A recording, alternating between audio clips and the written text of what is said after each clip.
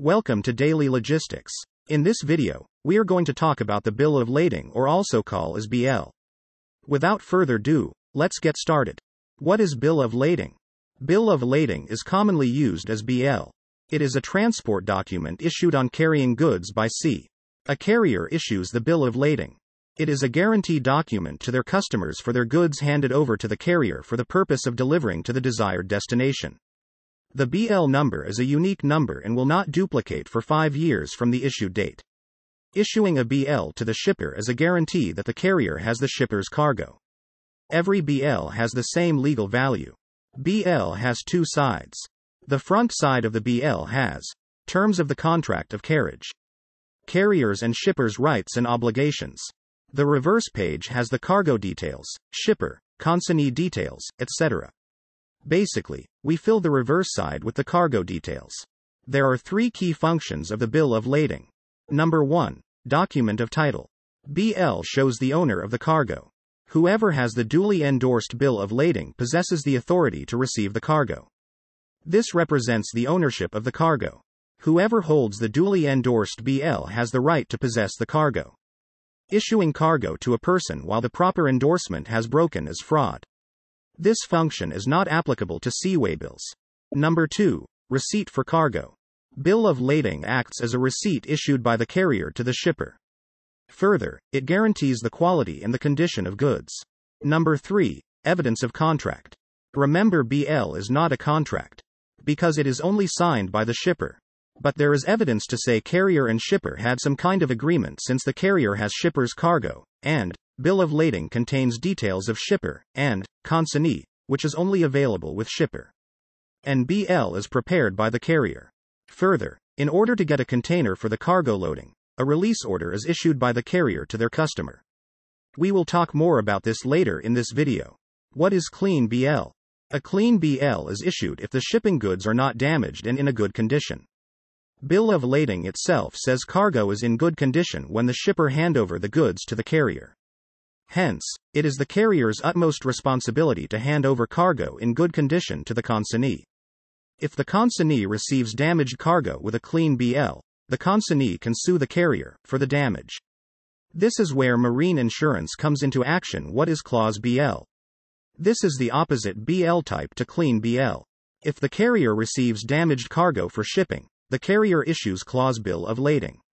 When the bill of lading has a clause by mentioning received cargo or damaged, BL becomes a clause bill of lading.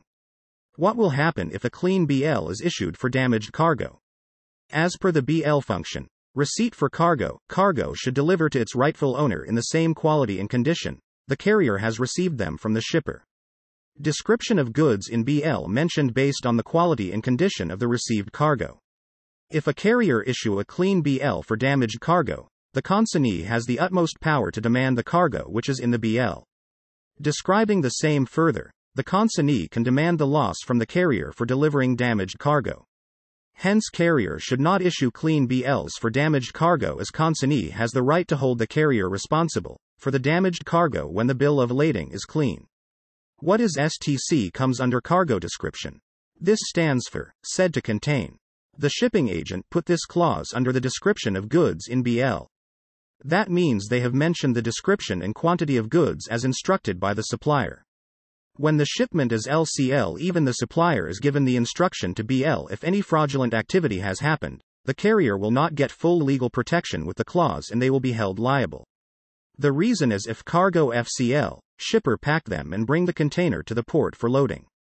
If cargo is LCL, the shipper hand over the cargo to the carrier for stuffing. Hence, as per the law, the carrier should know what carrier stuff is in the container.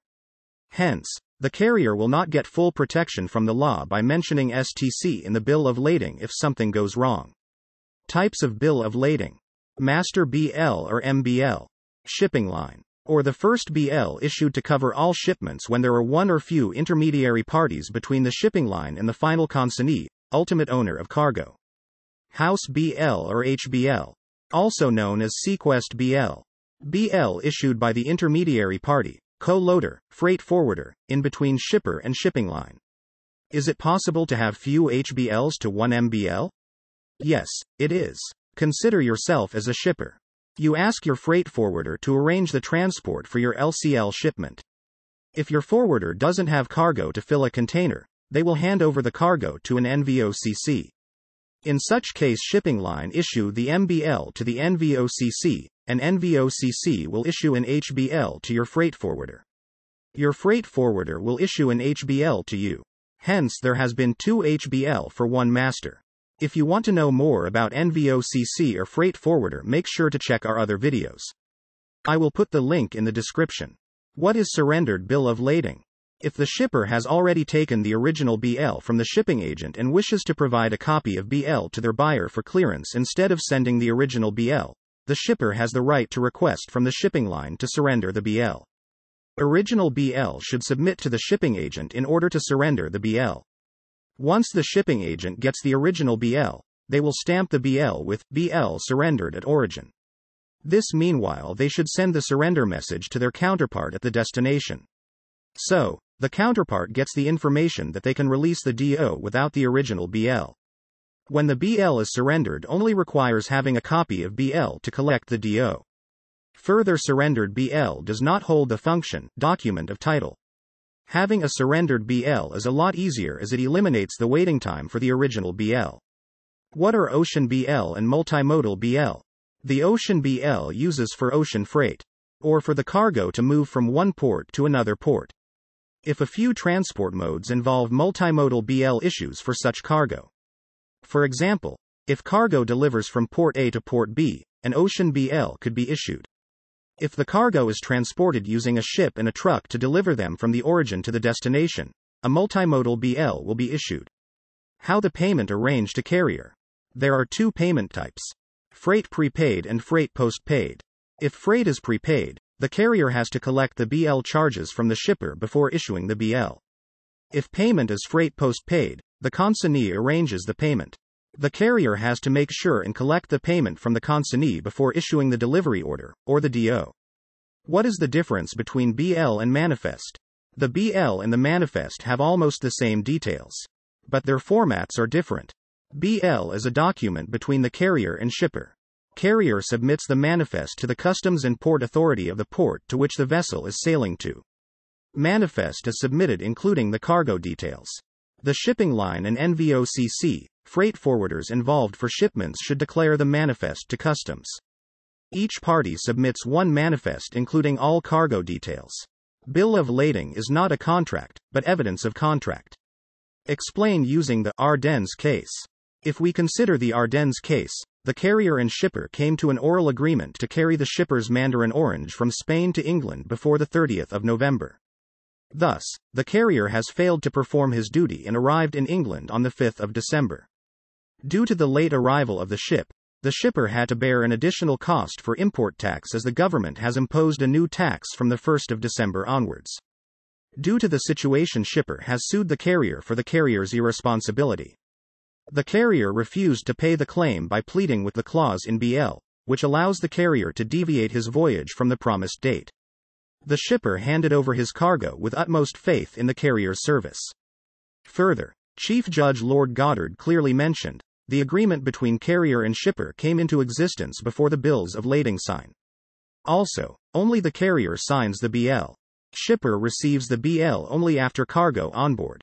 Further, the BL date is the same as the vessel sailing date. Even the clause is on the BL, the shipper receives the BL after the vessel is sailed. This also confirms shipper finds out about the deviation clause being very late. If the shipper gets to know it earlier besides their oral agreement, the shipper may ask for the cargo back if the deviation of arrival date could make harm, his or her business. But, as the vessel has already sailed at the time shipper receives the BL, the shipper has no chance to ask for the cargo back. Further, the shipper is not considered as a party to the preparation of the bills of lading. Further, the shipper did not sign the bill of lading. Hence, BL cannot consider as a contract. Through the process, the shipper contacted the carrier for booking. Being cargo on board also confirms shipper and carrier had a discussion on freight charges as well. Moreover, the carrier provides the container, container space to the shipper for loading the shipper's cargo. The carrier has no idea about the consignee, but the shipper does. Most importantly, The shipper provides the details of the consignee to the shipper when filling the bills of lading. And provide consignee details to the carrier for coordination. If the shipper and carrier didn't have close contact, the above points will not take place. Therefore, we can conclude bills of lading is not a contract, but evidence of a contract. What are your thoughts about this? Comment below. That's it for this video. If you like our content consider subscribing to the channel. Thanks for watching. See you in the next video.